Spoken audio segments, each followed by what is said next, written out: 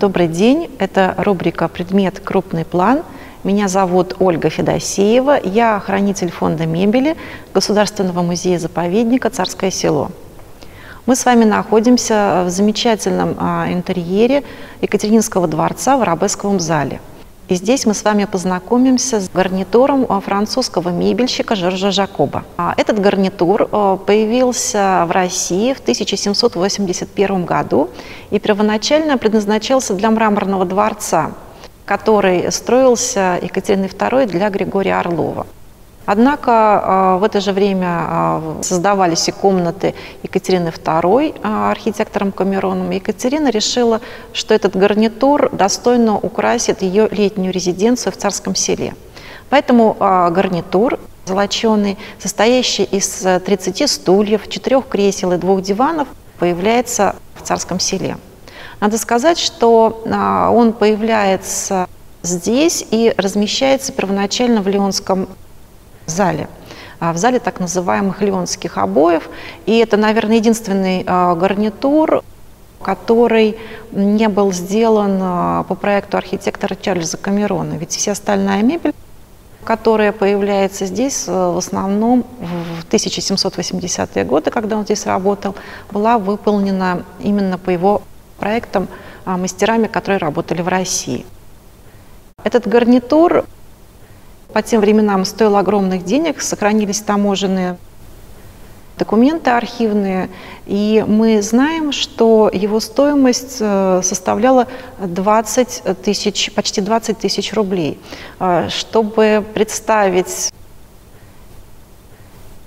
насколько это дорого, надо сказать, что э, для на убранство комнат Екатерины II и первого этажа Зубовского флигеля, где были комнаты ее фаворитов, ушло 65 э, тысяч рублей. То есть это мебельное убранство, обойные работы, ткани, которыми, опять же, мебель убиралась. То есть в среднем где-то гарнитур на комнату стоил 6 тысяч рублей. А здесь для Леонского зала был совершенно приобретен э, огромный э, гарнитур, который по тем временам, конечно же, очень дорого а, стоил.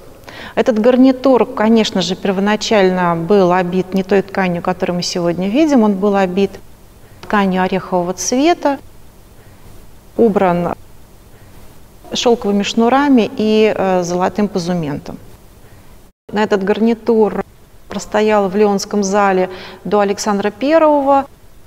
При нем он отправляется в кладовую и заменяется а, фанерованной а, мебелью.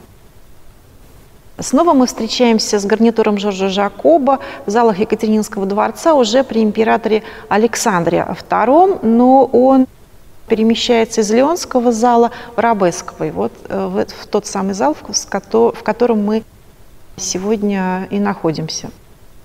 Надо сказать, единственное, что происходит с этим гарнитуром, у него меняется обивка.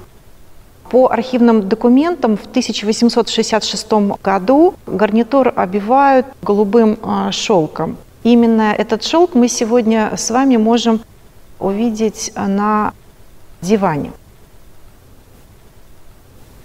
Приключения нашего гарнитура в Царском селе на этом не закончились. Дело в том, что при императрице Александре Федоровне, супруге Николая II, этот гарнитур отправляется в Александровский дворец и размещается в портретном зале. Его мы с вами увидим, можем увидеть, этот гарнитур, на портрете Александры Федоровны а, художника Подоревского. А, кстати говоря, именно на нем э, мы впервые увидели, что э, цвет обивки у этого гарнитура был достаточно насыщенный, такой темно-голубой, в отличие от той обивки, которую вот мы уже видели после войны на предметах, которые вернулись из эвакуации. А, дело в том, что, конечно же, за то время, пока гарнитур бытовал, обивка утратила свой первоначальный э, цвет и стала из такого насыщенного темно-голубого цвета превратилась вот в палево-голубой цвет. Надо сказать, что когда в 2010 году проводились работы по реставрации арабеского зала, а тогда же было принято решение а, и попытаться воссоздать ткань для этого гарнитура. И вот на оставшихся предметах, которые вы здесь видите, мы с вами можем увидеть обивку, которая была, шелковую обивку, которая была выткана на одной из итальянских фабрик по историческому образцу. Если говорить о декоре этого гарнитура, то хотелось бы его более подробно рассмотреть на примере вот этого совершенно замечательного дивана. Хочется обратить ваше внимание, что верхняя перекладина спинки выполнена в форме лука, с которого не спадает спинка в виде драпировки. Верхняя часть спинки украшена совершенно замечательными венками. Э, это венок из э, веток оливы и венок из разнообразных цветов. Если мы присмотримся, то мы с вами увидим, что венок состоит из роз, нарциссов, хризантем, а вот здесь внизу даже видна ветка сирени. Надо сказать, что эти же венки мы с вами можем увидеть и на а, стульях, и на а, креслах этого гарнитура. Тема лука продолжается и в обвязке. Обвязка э, сиденья также выполнена из трех соединенных луков, э, связанных жгутом, а ножки в виде стрел. Вот мы с вами видим здесь и оперение стрел, и даже наконечники. Хочется также отметить и локотники э, этого дивана. Это сохранившийся образец, вот единственный образец локотников, который дошел до нас со времен Жоржа Жакоба.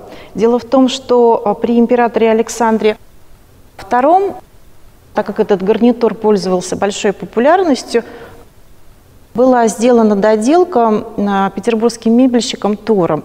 Были сделаны два дивана – для того, чтобы объединить э, гарнитуры в единое целое, то пришлось и у кресел поменять локотники.